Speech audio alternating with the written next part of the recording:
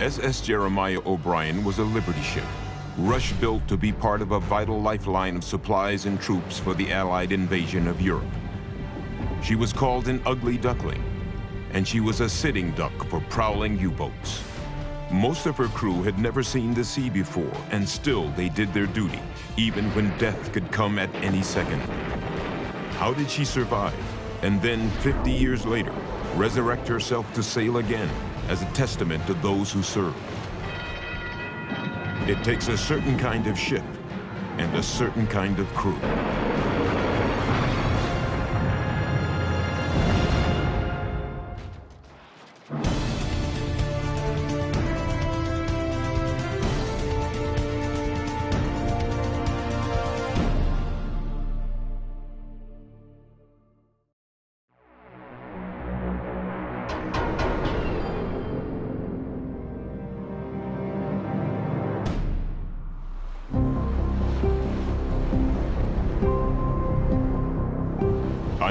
6, 1944, more than 5,000 Allied ships, the greatest armada that ever sailed, carry men and machines to Normandy.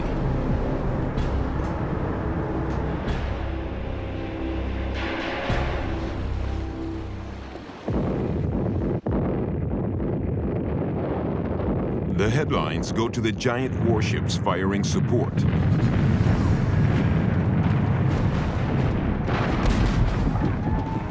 The lifeline to the beaches is a mob of Liberty ships, plodding all but unarmed through the dangers of U-boats, torpedo boats, mines, and aircraft.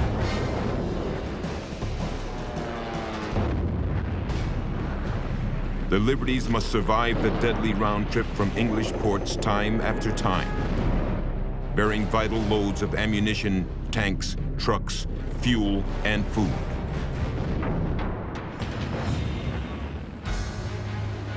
In the middle of the massive operation is a single ship, Jeremiah O'Brien, that will do what thousands of others do not. Survive into the next century as more than a museum. The only active ship is still sailing from that armada is the Jeremiah O'Brien. And that's, uh, to me, pretty amazing.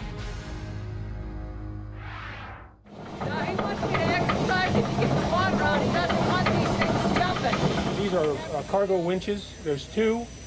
They work that hook out there that you see. They can move the hook any place along the deck or over the pier.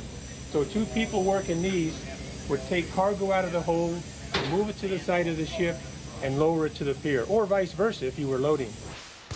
Okay, we're going to get ready to start up the main engine. We'll light off the two central burners, and that will provide the heat in the boiler that will help generate the steam. How Jeremiah O'Brien's aging crew saves her from the shipbreakers and then sails her on an unlikely journey across the Atlantic is a great sea story. One that begins with her hurried building in the early days of World War II.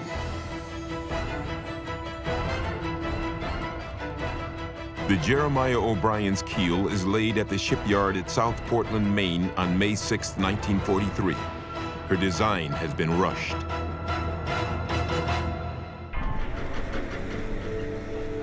World War II has caught the United States with its merchant fleet down. With 91% of all its shipping carried by foreign flags, American shipbuilding has dwindled to where there are just 46 launching slips and the 10 shipyards capable of handling 400-foot ships.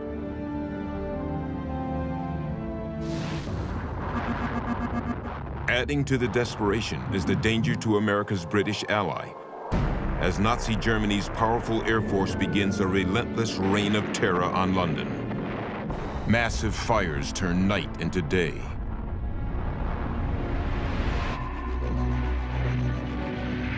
The besieged island must bring in fully a quarter of its survival needs by cargo ships.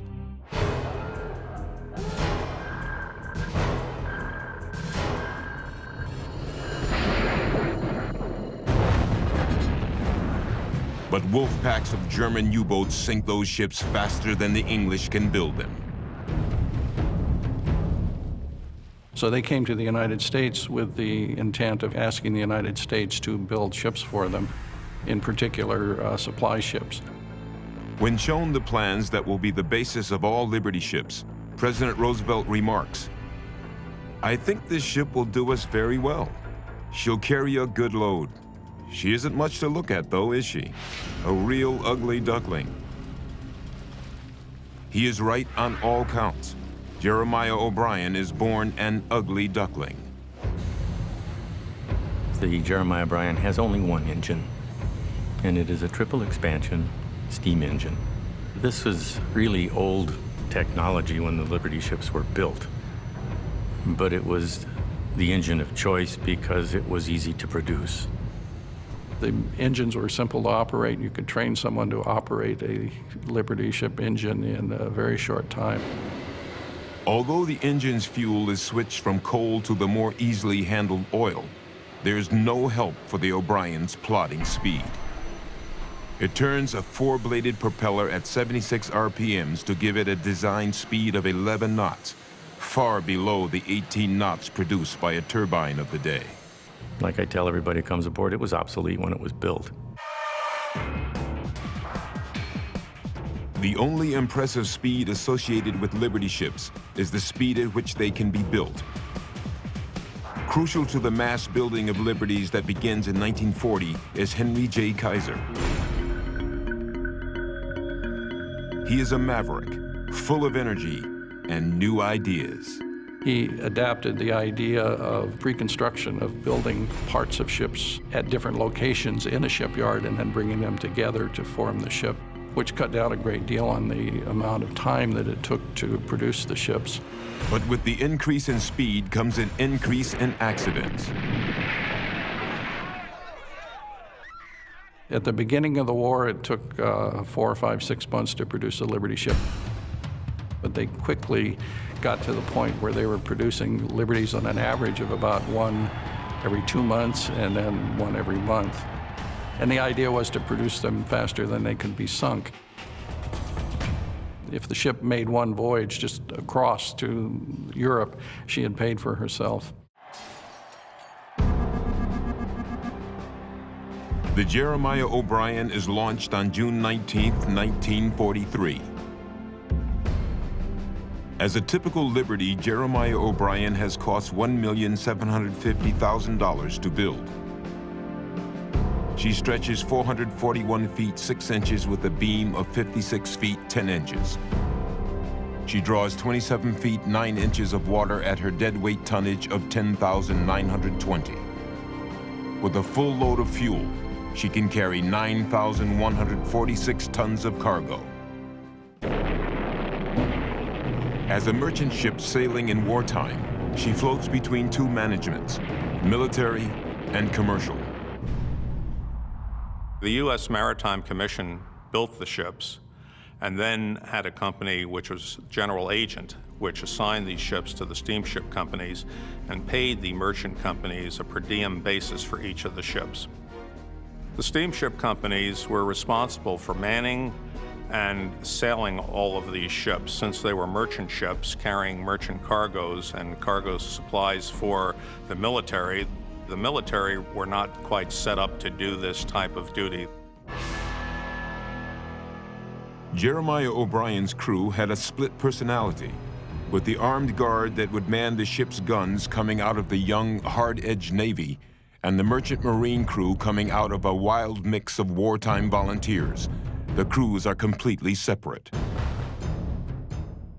And not many people know what the Merchant Marine is. These are individuals, private people working for private steamship companies that make their living by putting cargo in ships and transporting it all over the world. We're here to get this stuff through. We're out here to deliver the goods, keep these ships sailing. And individuals uh, from all walks of life came aboard these ships. Some of them were farmers, some of them were factory workers.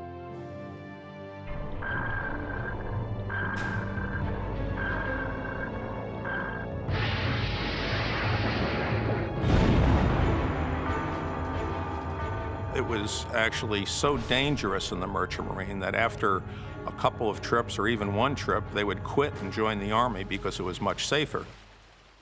During World War II, the, the crew consisted of about 46 people in the merchant crew, and then there would also be an armed guard crew that uh, varied anywhere from 16 to 26 people on board.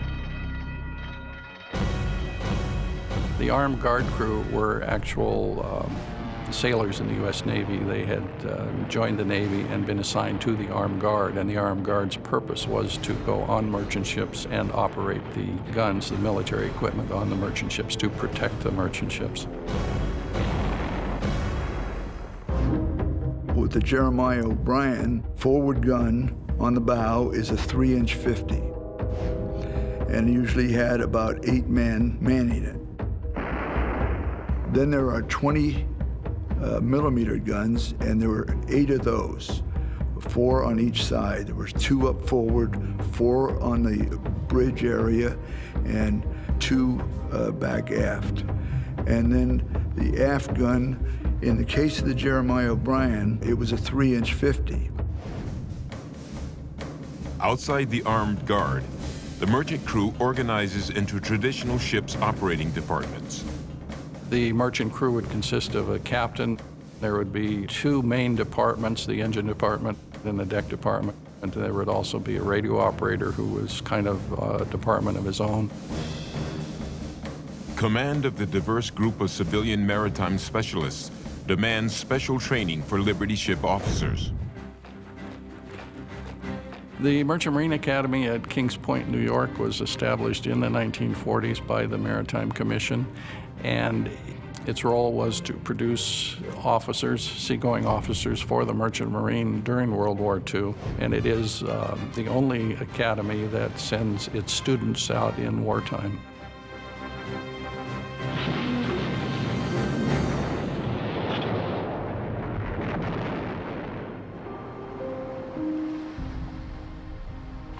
And there were 142 Kings Point students lost during World War II due to enemy action. And no other federal academy can make that claim.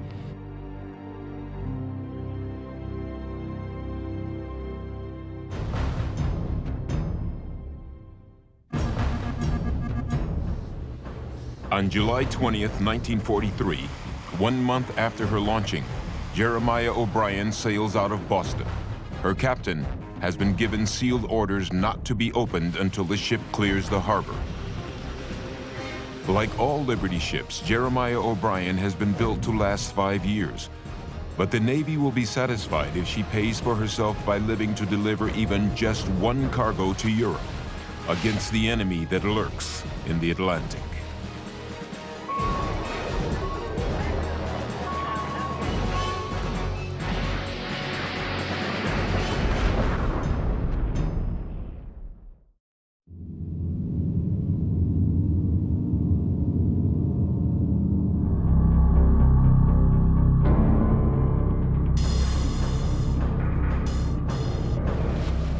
Beginning in July of 1943, Jeremiah O'Brien moves into a series of perilous crossings of the Atlantic Ocean, where the Allied convoy system is locked in a duel with U-boats. Germany controlled most of the Atlantic during World War II from the beginning up until late in 1943 or early 1944 with her U-boat fleet.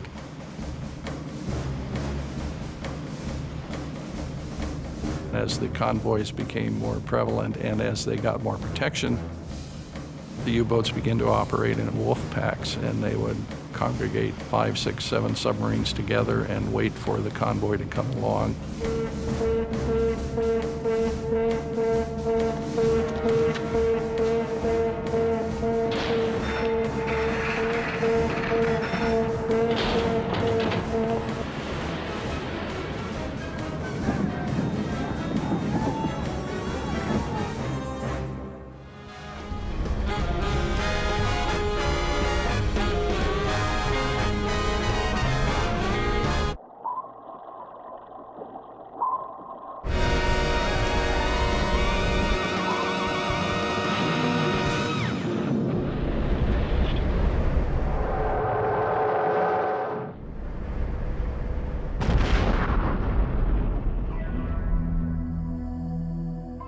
America's first 18 months of war have seen a field day for Hitler's submarine wolf packs. In July 1943 alone, 61 ships totaling 350,000 tons go to the bottom with heavy loss of life. Jeremiah O'Brien is just one ship in a growing Liberty ship armada, sharing terrible dangers. The convoy system was developed by the British during World War I, and they found it uh, successful. The concept behind it is that the, the more ships that you have in a group, the fewer total number of ships will be sunk because far fewer of them are accessible to the enemy. The convoys would consist of uh, anywhere from 50 to uh, 200 ships, 10 rows of ships, and then in each row there would be five, six, eight, 10 ships, so that there was this large block of ships. General quarters, all hands man your battle stations. All hands man your battle Jeremiah O'Brien and her sisters in the convoy depend on sub-hunting escort ships circling the convoy in a protective ring that U-boats seek relentlessly to penetrate.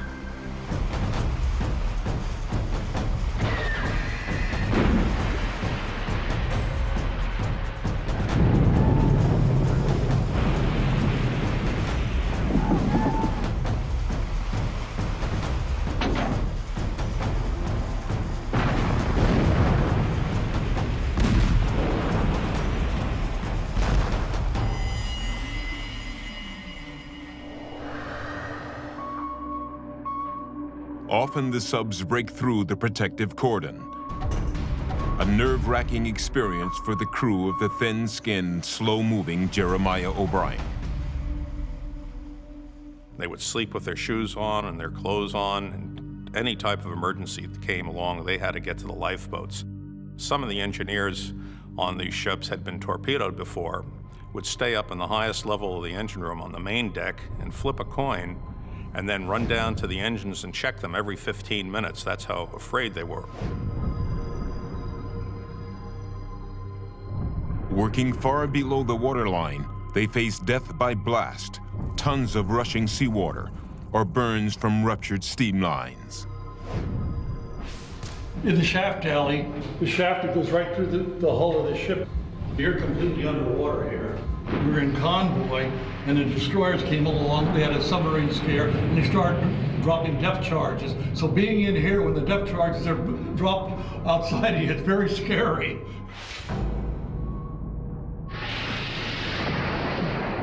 When a thin-skinned Liberty ship is hit by a torpedo meant to penetrate a warship's armor, the engine room crew is generally doomed. When you get a hit, you're dealing with superheated steam. It's extremely, it's almost a gas. It's so powerful. And it'll burn your lungs out in a hurry if you get a direct shot into your lungs on it. So you try to protect your lungs the best way you could. And I always carried a rag in my pocket, a clean rag. And I was able to put it in my mouth and, and try to get out of the engine room as quickly as I could. Normally, you didn't get out. You just you were stunned, and, and that was it.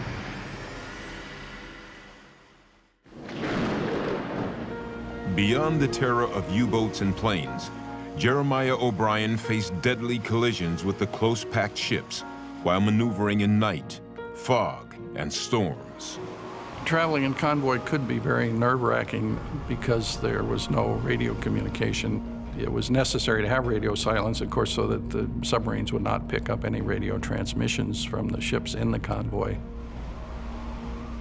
All communication was done by either blinker light or flag signal and most communications came directly from the convoy commodore, which was a single ship designated to be in charge of the convoy.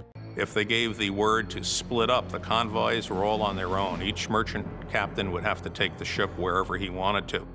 When bad weather set in and they thought they were proceeding in convoy, the next morning they would find out that they were out there by themselves and then have to try to find out what happened to the convoy and try to catch up to it. Of course, those that didn't catch up we never heard about because they were sunk by the German U-boats.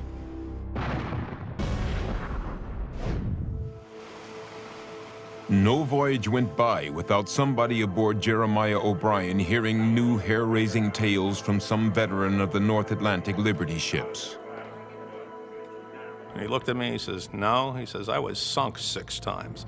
Torpedoed six times, and once he was torpedoed twice on the same day, two different ships. He sailed out of New York Harbor early in the morning and was sunk off the coast of New Jersey on a tanker. They would give you 30 days survivor pay, but he had already been ashore for 30 days, and he didn't want to stay ashore again, and he caught a ship late that night, which was sunk off the coast of Long Island. He would tell of the ships icing up with so much ice on them, there was a chance of them capsizing and turning over. The crew would have to turn out and chop the ice off. This while they were dodging the U-boats the North Atlantic winter cold can be as dangerous to Jeremiah O'Brien as the enemy. The shipbuilding process of welding instead of riveting locks new stiffness and stresses into her hull.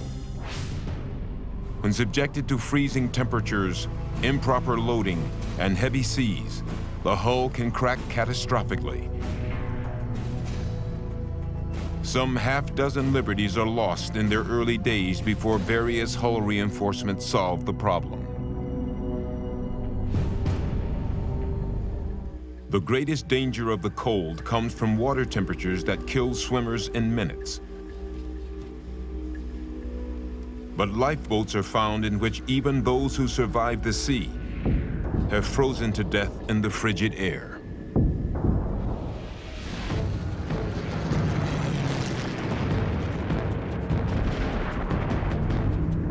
Moving farther across the Atlantic, within a few hundred miles of German air bases along northern European sea coasts, fresh hazards appear.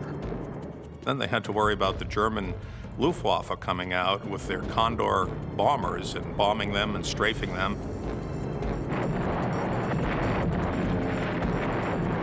And as they got closer to shore, the Messerschmitt 110s would come out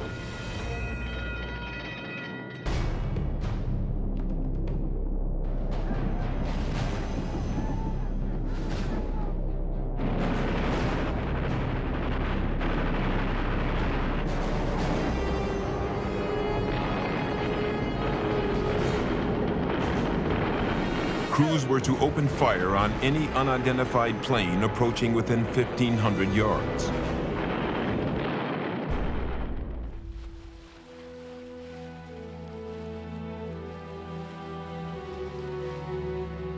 These people, the heroic merchant mariners during World War II, it's uh, just unbelievable what these people went through and got very little notice for it.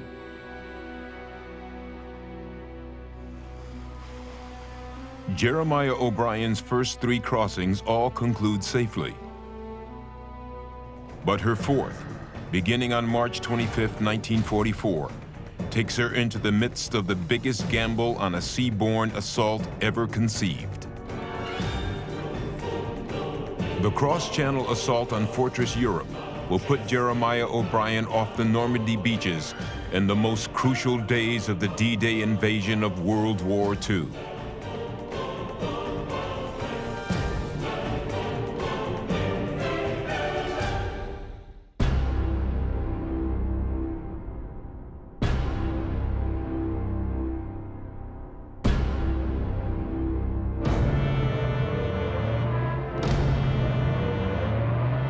On June 6, 1944, after the warship and troop ships have gone through the teeth of the German beach defenses in the invasion of Normandy, the critical battle to supply the huge landed armies begins. Jeremiah O'Brien is in the thick of it. Sailing from England through waters alive with German mines, the crew knows the risk of hitting one. They were standing, their legs would just be driven up into their body because of the concussion was so rapid and so forceful.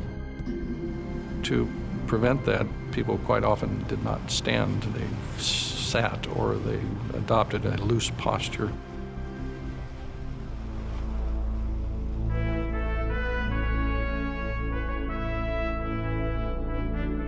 The Jeremiah O'Brien made 11 shuttle crossings to the beaches of Normandy and each time carried a couple hundred soldiers uh, on deck and delivered them to Normandy as well as all of the cargo that she carried, which consisted of tanks and ambulances and uniforms and bullets and dynamite and food and you name it, and she carried it.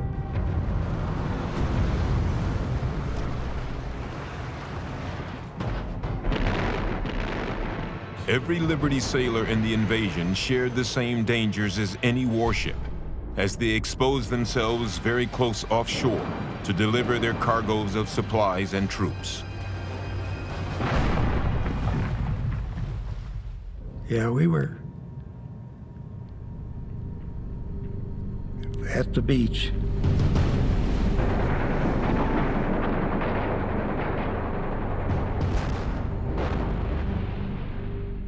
First trip over there, we parked right by the Texas. And we could see it firing away. And every time it fired, it, the ship, their ship would rock, and the waves would rock our ship. The troops, they had to go down rope nets, and some of them were just ready to fight. They were ready to go. Others were scared to death. I remember seeing a, a red-headed fellow, about six foot six, big husky guy, scared to death. He couldn't get down the net. They had to beat his hands to get him to go down. It was kind of sad.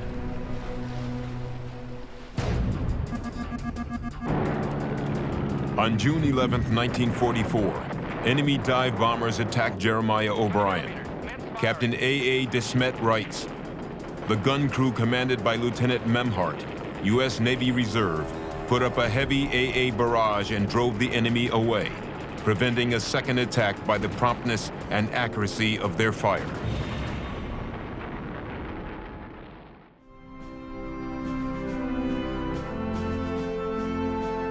In her 11 trips running to Normandy, Jeremiah O'Brien carried 3,492 troops, 1,746 vehicles, and 341 tons of dynamite.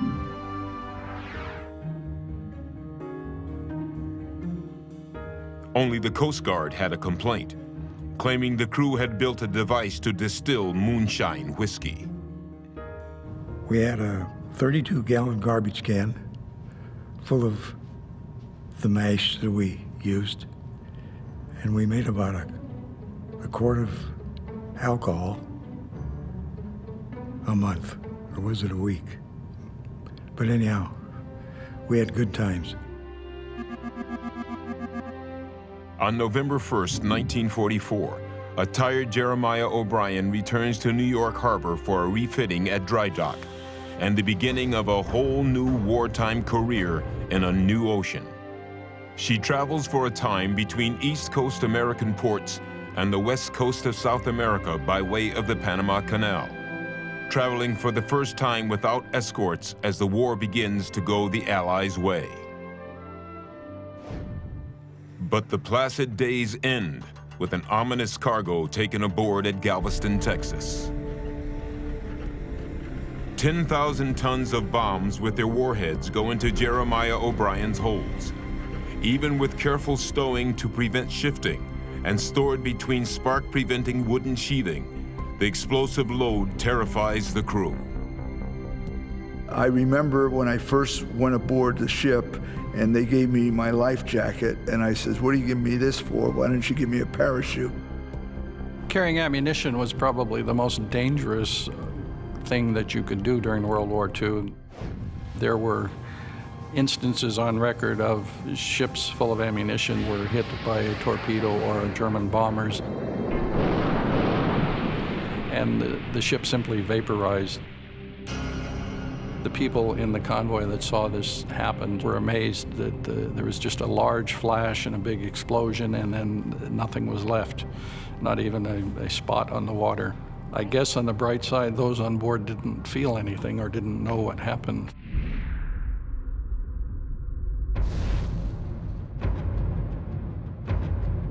After two nervous weeks of loading, Jeremiah O'Brien begins her trip to the Pacific War Zone under the command of Captain Arthur Gunderson.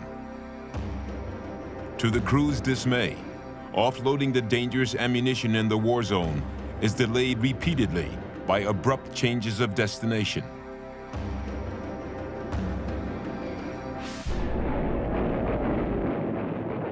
To add to the tension, the Japanese have begun to launch kamikaze suicide attacks against American ships, with direct hits obliterating ammo ships around Jeremiah O'Brien. Every Liberty ship has its moments of pure terror.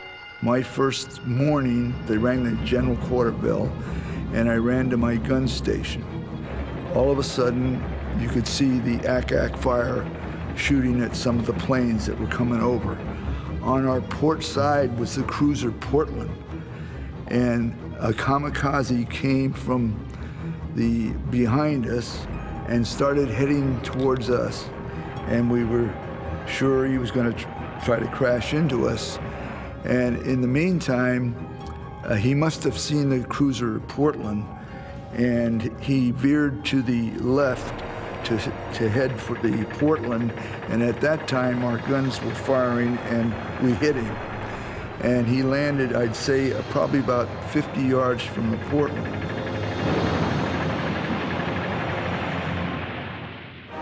Reporters rush out to relay the news to an anxious world and touch off celebrations throughout the country.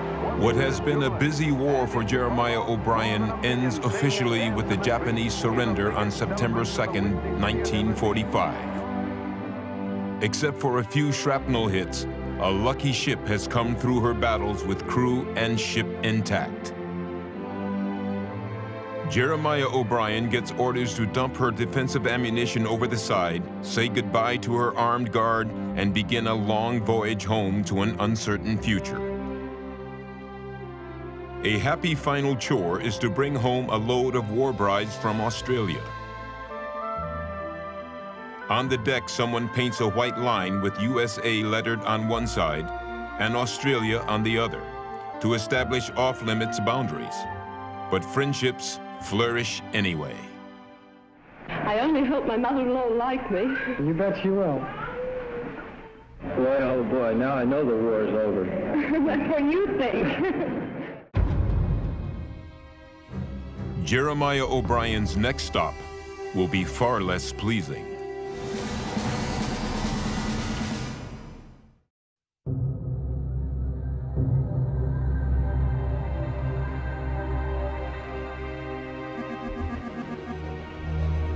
On January 16, 1945, Jeremiah O'Brien returns home with thousands of her sister liberties. But they're none of the gala fireboat welcomes for the weathered, rusted workhorses that did as much to win the war as the widely toasted warships. The United States government created um, the mothball fleet, or the what they call the National Defense Reserve Fleet, and it was with the knowledge that there were so many ships left over from the war, and there had they had to do something with them. Some of the ships were deteriorating, and they decided to sell off many of the Liberty ships to foreign steamship companies, in particular. 10, 20 years later, they decided that the Liberty ships were so old-fashioned that they weren't really practical and began selling them off for scrap. Jeremiah O'Brien's luck held as she caught the attention of dynamic former Navy Captain Tom Patterson, who in 1943 was assigned to convoy duty on a Liberty ship. Nearly 20 years later, in 1962, as a member of the U.S. Maritime Administration, he was assigned to survey the remaining 150 Liberty ships in the mothball fleet. When he boarded the SS Jeremiah O'Brien, he could tell there was something very special and different about her. She had not been called out for any assignment after she was laid up in 1946 at the end of the World War II.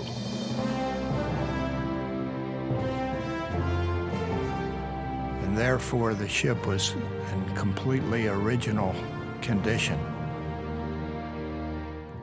Admiral Tom Patterson conceived the vision of Jeremiah O'Brien as she might be, not only rescued for history, but also returned to full operational glory. He had no illusions about how steep a hill he had to climb. The best we could do was to keep putting the ship on the bottom of the scrap list and selling other ships in the order of their condition. Over 2,700 Liberty ships had been built in World War II. And it was unbelievable that we would scrap all of them and you'd have to go to a library to see a picture of a Liberty ship. And finally, Washington told him, well, you're going to have to do something with that Liberty ship you're trying to save because we just can't hold on to it anymore. There was no funding and no authority for funding to save uh, a Liberty ship or any ship from World War II. It had to be done on a volunteer basis. An inspired Patterson quickly forms the nonprofit National Liberty Ship Memorial Corporation and is pivotal in enlisting the volunteer help of engineers, deck officers, supply officers, and especially a crew from the maritime unions. Also, there is key help from the National Trust for Historic Preservation. We received a grant for over $400,000 that we then had to match. But we could match it with contributions of labor, materials, or cash, which we did. Three months later, a swarming crew of volunteers has restored steam power to a ship that had not been underway in 33 years.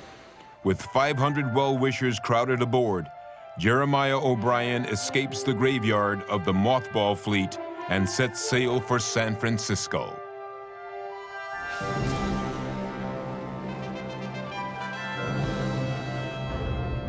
And Jeremiah steamed out of the past, out of World War II, uh, a ghost ship steaming along under its own power. And we had many, many salutes and ships dipping their colors to us as we came down to Bethlehem Shipyard.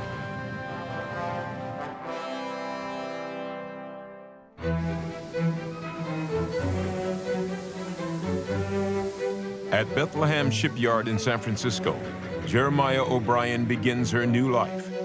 It would start with a complete overhaul that would last six months at a cost of $1,100,000, funded exclusively by private donations.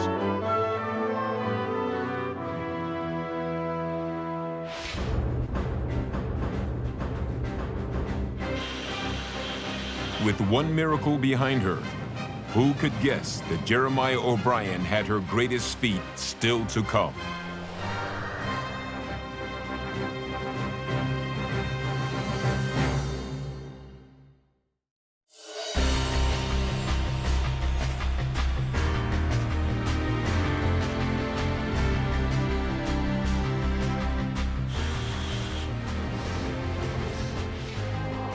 After her rescue from scrapping in 1980, Jeremiah O'Brien settles into retirement in San Francisco, conducting tours and crewing regular passenger sailings. But this gentle life is too tame for Jeremiah O'Brien. Her crew starts thinking of one more mission. By 1993, we were aware that the 50th anniversary of the Normandy invasion at D-Day was going to take place.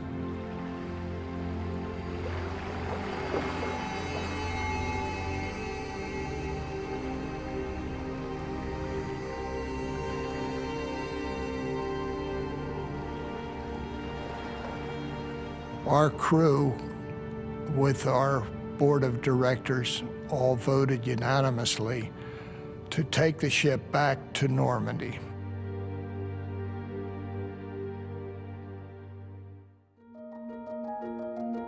Returning to Normandy would be a 25,000 mile round trip with an estimated cost of $2.5 million. So we knew what we were letting ourselves into, but that didn't faze us.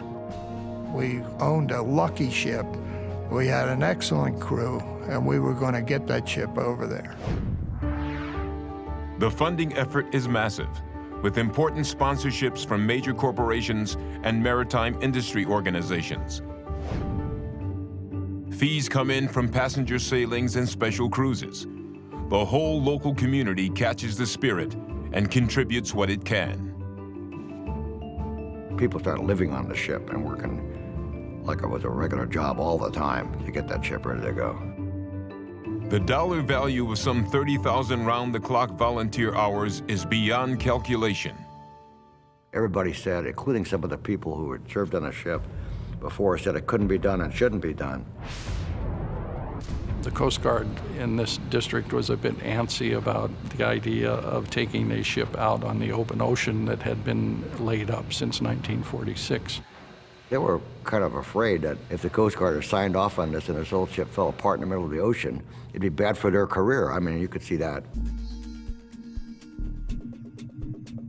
On the 18th of April 1994, the refitting rushed to completion. 78-year-old Captain George Jahn takes Jeremiah O'Brien out toward the Golden Gate to begin her unlikely voyage.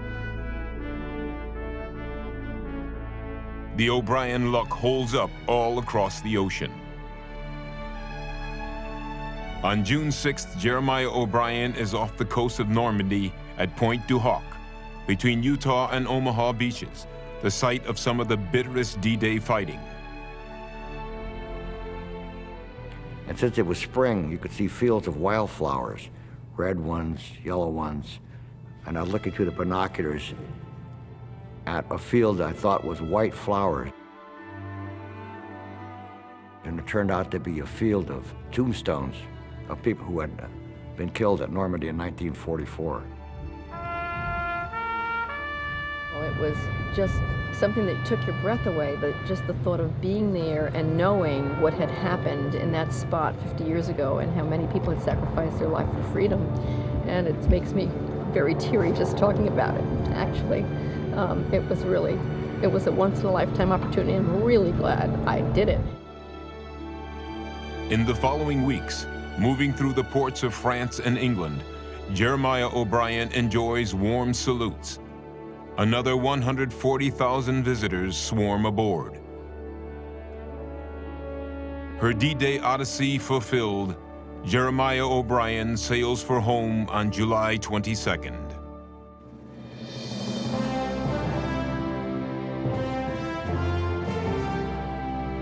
San Francisco, the final day of the voyage, we were supposed to be under the Golden Gate Bridge at 8 o'clock, and it was 8.04 when we went under there. So after five and a half months and 18,000 miles, we didn't quite make it on time. And in the gate, there must have been 200 vessels out there, uh, yachts, ferry boats, steam tugs, tour boats, kayaks, all kinds of stuff.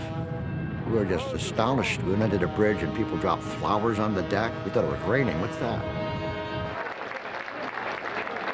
The end of a great voyage was by no means the end of a great career for Jeremiah O'Brien. The, the Jeremiah O'Brien right now is uh, based in San Francisco at Fisherman's Wharf. The ship goes regular cruises on the bay. The ship is maintained in the standards required of it by the United States Coast Guard and the American Bureau of Shipping. It's an active American flag merchant ship. Uh, it's now over 60 years old. It is staffed by a volunteer crew that's very proud of their ship and very proud of its history. Someone said to me recently, you know, once she gets in your blood, you can't she you can't walk away, and that's really the truth. She's just becomes a part of you, and she is living history. Sometimes the most important things to remember are the ordinary people who just do their duty and did what had to be done.